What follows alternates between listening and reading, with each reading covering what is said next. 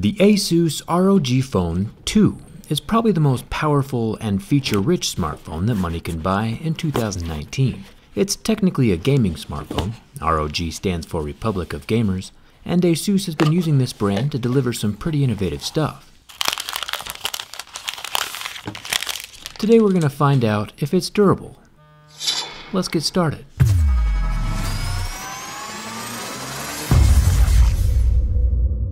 One of my favorite things about gaming smartphones is that they are typically a little less conservative design-wise and let themselves shine, literally, with built-in LED lighting.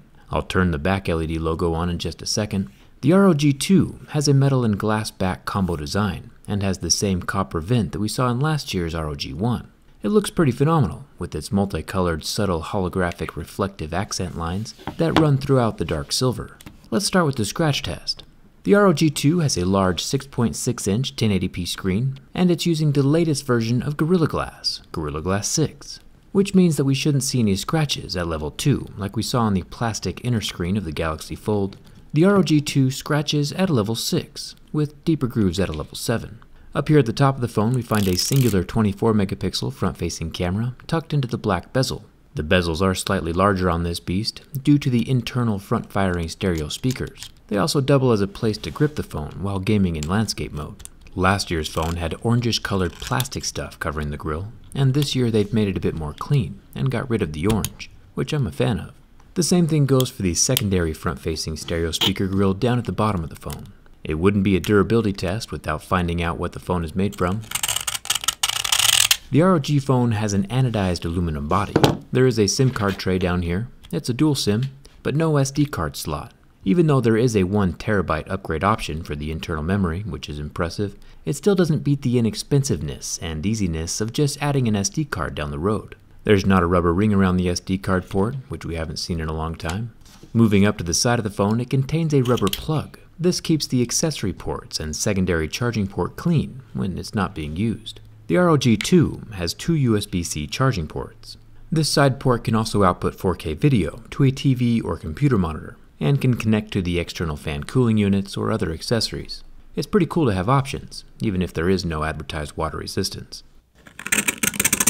The top of the phone has more anodized black metal, and the right side of the phone has the capacitive touchpad triggers on either end, just like we would see on a gaming controller. It also has a metal volume rocker and metal power button. Those capacitive corner triggers shouldn't affect durability, but we'll find out with the bend test in just a minute. Finally, here at the bottom of the phone, we get the USB-C port, and we see our little buddy, the headphone jack. Haven't seen one of these in a while. A lot of flagship and mid-range phone manufacturers have been dropping the headphone jack so they can push their own brand of wireless headphones that usually cost well over 150 or $200. It's important to remember that there are a lot of good wireless headphones out there that cost a whole lot less, which brings us to Raycon. Huge thanks to Raycon for sponsoring this video. Raycon's totally wireless headphones are half the price of other premium wireless earbuds and sound just as good. If anything, these are louder and have more bass than any other headphone I've tested recently. And I've tried out quite a few different headphones. I mostly use my headphones at the gym or while running, and these are small enough and light enough that I never feel like they're falling out. They have 6 hours of playtime with an additional 24 hours of juice stored in the carrying case. You can get 15% off and check out the additional colors with the link in the description. There's definitely no reason to pay big bucks to buy headphones that are the same brand as your cell phone, especially when there are cheaper and better options like these Raycons.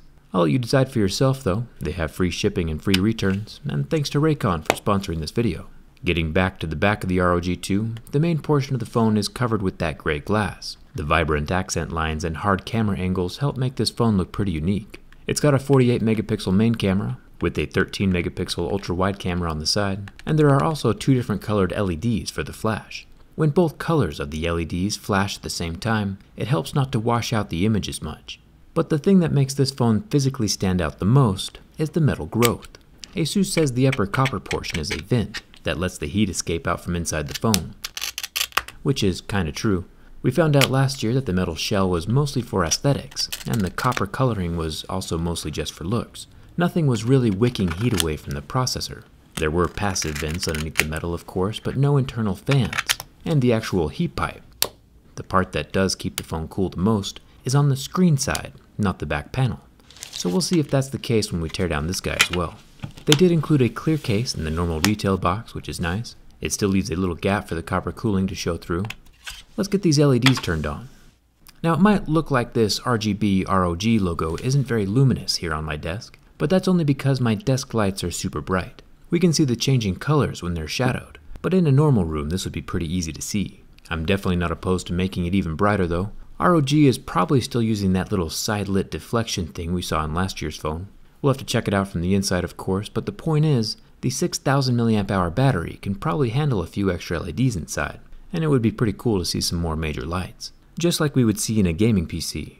Either way, this thing looks pretty cool. The 6000 mAh battery is probably one of the best things about this phone, alongside the 120Hz 1080p OLED panel. For reference, most phones and monitors these days refresh at 60 Hz, so having a phone that can display these movies, games, scrolling, and images twice as fast as usual is pretty interesting. It does last about 30 seconds under the flame from my lighter, which is also cool, or hot, depending on how you look at it. The screen definitely did not recover though, so don't do this at home. I almost forgot about the under-screen fingerprint scanner. It's easy to tell that the ROG2 is using an optical scanner. One, because the whole display brightens to max when it's trying to sense my finger, and more importantly, it has the green circle of light where my finger is touching. The sensor underneath the display uses that green light to illuminate the ridges on my fingerprint, and then reads my fingerprint through those LEDs. It's pretty cool. The underscreen fingerprint technology wouldn't be possible on an LCD due to all those layers we saw in my last video, just OLEDs. The good news is that even with these level 7 deeper grooves marring up the surface of the glass, the fingerprint reader can still sense my finger and unlocks the phone every time. Finally, the bend test. This thing is massively thick and heavy, which by default helps the rigidity of the phone. But even with that thickness and weight, we still get a flex near the side charging port. I guess having a hole in the frame weakens it a bit and allows it to flex, but there are no permanent kinks or cracks in the metal, even when bent from the front side. The ROG2 is still a solid beast of a phone, and quite possibly one of the most feature-rich smartphones money can buy in 2019. It passes my durability test.